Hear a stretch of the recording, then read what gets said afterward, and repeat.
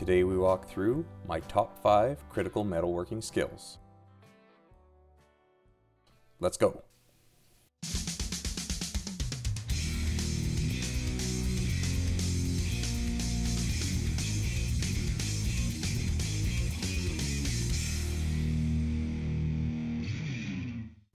Critical metalworking skill number 1, making accurate measurements.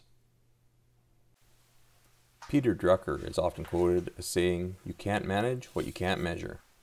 And even though he was talking about business, the same thing applies to metalworking. Accurate measurement is the hallmark of any good craftsman. And while just about all of us know how to use a measuring tape, when's the last time you actually put serious effort into improving your measurement game? It doesn't matter if you're a beginner or an expert. Better measurements equals better results. I've laid out here some general measuring tools. You should get familiar with all of them. I would consider these the very basics of what you need in a metalworking shop. A good set of calipers, vernier, dial, or digital, doesn't really matter, whatever you're most comfortable with. I like dial calipers because the batteries don't run out and you can read them quickly. I'm sure you've already got a measuring tape. Get a good one, it'll pay for itself over and over again. Most machinists have a 6 inch rule handy. This Starrett one is graduated in tenths of an inch on one side. Yeah, that's metric inches, I guess. And 64ths of an inch on the other. This little ruler is probably the most used measuring device in my entire shop.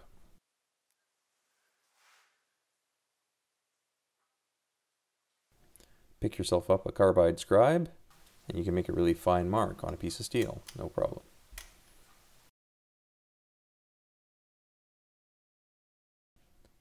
We've also got a 12 inch steel ruler here.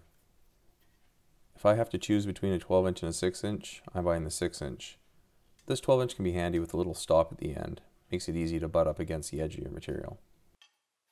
And finally, some kind of protractor, so you can measure angles if you need to. I don't know how, but you could if you wanted to. It can sometimes be difficult to see exactly where your scribe lines are. That's why they make things like Dykem layout fluid. In my case, a Sharpie works pretty well most times, and doesn't make anywhere near the mess the Dykem can.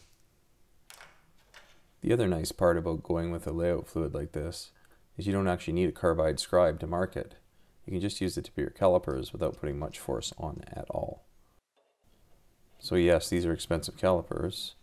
However, with layout fluid down, all you have to do is lightly drag them across it and you'll leave a mark. Now we are clearly marked for the next operation, which takes us to work holding, critical metalworking skill number two. Now I've spent a lot of time doing my metal work on the floor, and for those of you that have done that as well, you know how important work holding is. And regardless of what the operation you're trying to perform is, Holding the workpiece steady allows you to control the location and the force you're applying to it much more easily. Just imagine where blacksmiths would have been without an anvil and a pair of tongs. Work holding comes in a million shapes and sizes. Just about every power tool has work holding of some sort built into it.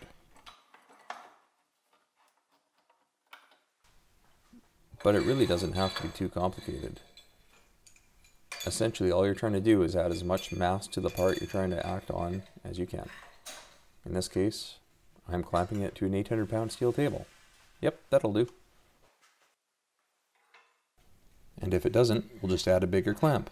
Now we're 801 pounds. But really, the single most important tool you can have in your shop is bench vise. I have like 14. I may have a problem. Don't tell my wife. Thanks. And at some point, you're going to want to clamp something without scratching it. So I recommend a set of soft jaws. These soft jaws here have magnets, they're made of aluminum, and they have rubber faces. But you can jam a couple pieces of wood in there, make them out of brass or copper. Hell, even the leather from an old belt will do the trick. But at some point, you're going to want to clamp something without scratching it up. And critical metalworking skill number three is drilling. I'm sure everyone's tried drilling a hole in metal, only to have their drill bit walk all over the place and leave a big squiggly line instead of a hole. In order to get a hole where you want it in metal, there's some steps you have to take first. To start, you need to measure where you want it. We covered that earlier. And once you have it marked, if you center punch it, you'll give a drill a place to rest, so it won't walk all over and ruin your piece. Then you pick your drill of poison. You could use a hand drill like this. Absolutely nothing wrong with that. I went years with just a hand drill at my disposal. Made a ton of stuff. You could get by with a $100 drill and call it done. But if you want precision, repeatability, stability, and to ensure your holes are perpendicular to your workpiece, a drill press is the answer. Now that we've center punched our part, we can load it into the drill press vise and drill a hole. We talked earlier about the importance of work holding, and you can get by with a bunch of different options when you're drilling aluminum or steel, but if you're ever drilling plastic, a securely mounted vise is mandatory. The next step to ensuring the hole goes where we want it in this piece of steel is to use this, a spotting drill.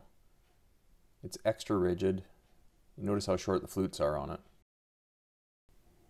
This ensures we have no deflection and that our hole starts exactly where we want it.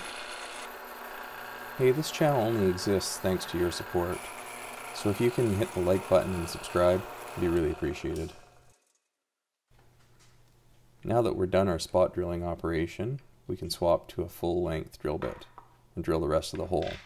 We know now that it's going to stay exactly where we want it. I generally use a little bit of cutting oil, in this case rapid tap. It doesn't take very much, not for a hole this size anyway. Steady downward pressure wins the day. You can burn up a drill bit if you don't use enough pressure or you run it too fast. Get it right and you'll get some nice big chips, and you'll progress through the metal really quickly. Are done, but there's one more critical element once you drill a hole. That's deburring. Getting rid of those sharp little edges that exist around this hole so you don't cut yourself open by accident. Or on purpose. Hmm. There's a bunch of different ways to go about deburring. In this instance, I've got a Noga deburring tool. Works really well. But if you don't have that, just grab a drill bit a few sizes larger. You can use it instead. Just like before, we're going to just touch the face, chamfer the outside of the hole, and clean it up so it's not sharp. Beauty. But my favorite method is using my hand drill with the deburring tool. It works quick, it's uniform, doesn't chatter, leaves a great result. Now that is how you drill a professional looking hole in metal. Deburred, cleaned up, where I wanted it. Let's move on. You're not going to get very far in metalworking without mastering critical skill number four, cutting. Once again, we apply our foundational skills of measuring and work holding in order to cut. A lot of people dismiss the usefulness of a hacksaw, but a hacksaw and a bench vise combined can take you a long way. Often you'll have issues with your blade wandering all over the place. There's one critical lesson for use of hand tools, and that's let the tool do the work. Yeah, I know that sounds kind of dumb, but the gist of it is you don't need to put a whole bunch of downward pressure on a saw like this. Just move it back and forth with the weight of the saw and let it cut. If you try and muscle this through, you'll end up with a really crooked cut at the end.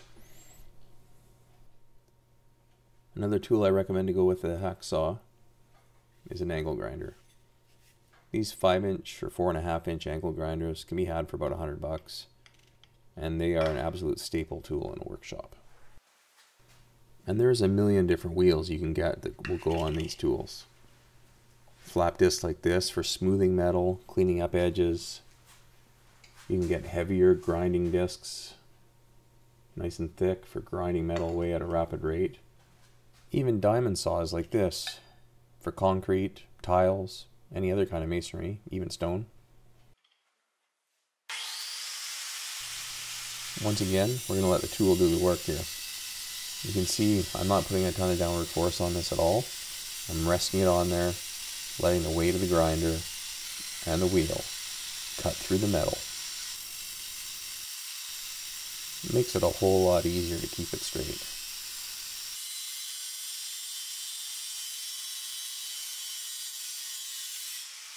And once again, we return to our foundational skills. Grab a file and take all the burrs and sharp edges off of this piece so that we don't cut ourselves. And besides just the obvious safety advantages, when we're fitting a couple pieces together, these burrs don't get in our way, causing issues with our fit up. Don't underestimate the mighty file.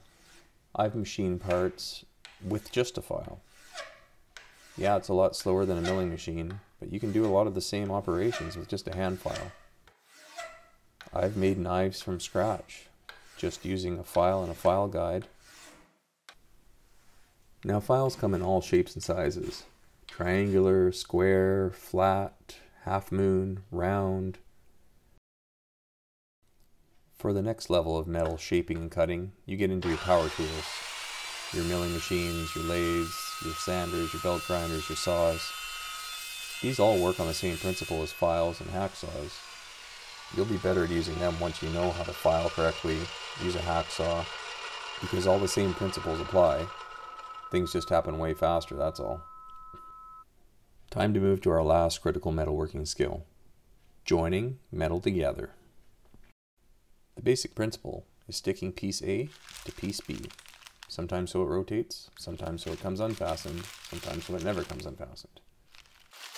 In front of us here we have some solid rivets, some popped rivets, some clecos, some nutserts. I want to talk about clecos a little bit here because they're often underutilized. They are temporary fasteners that go into a drilled hole and hold two or more pieces of metal together. Most commonly used in race cars of the 70s and the aero industry. They're incredibly useful and not very well known. But going back to basics, sheet metal screws, self-drilling and tapping screws, nuts and bolts. You want a good collection of these on hand if you're working with metal. And from the simple bolted connection, we'll move to the next most common connection method, that is, welding. Now welding's been around since the blacksmithing days, forge welding two pieces of white hot metal together. But welding as we know it wasn't really invented till the late 1800s. You'll find two kinds of welders in most metalworking shops. On the left, a TIG welder. On the right, a MIG welder. The principle is basically the same on both. Strike an electrical arc, melt the metal, insert some filler, let it cool, and pieces are stuck together just like that. I highly recommend starting with a cheap MIG welder like this one. I think it ran maybe 300, 400 bucks, but you can get them used for half that, no problem. MIG welding is easy to learn, very forgiving, perfect really for your aspiring metalworker.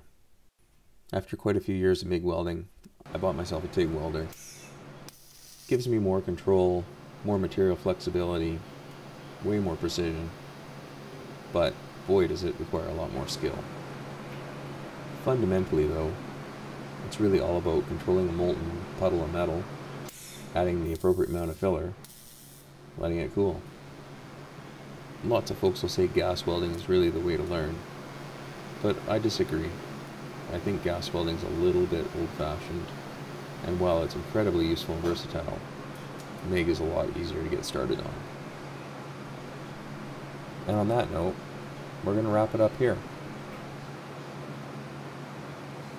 I do my best to make videos regularly and publish them on YouTube. I would love it if you could like and subscribe. Really keeps me going. Until next time, see you later.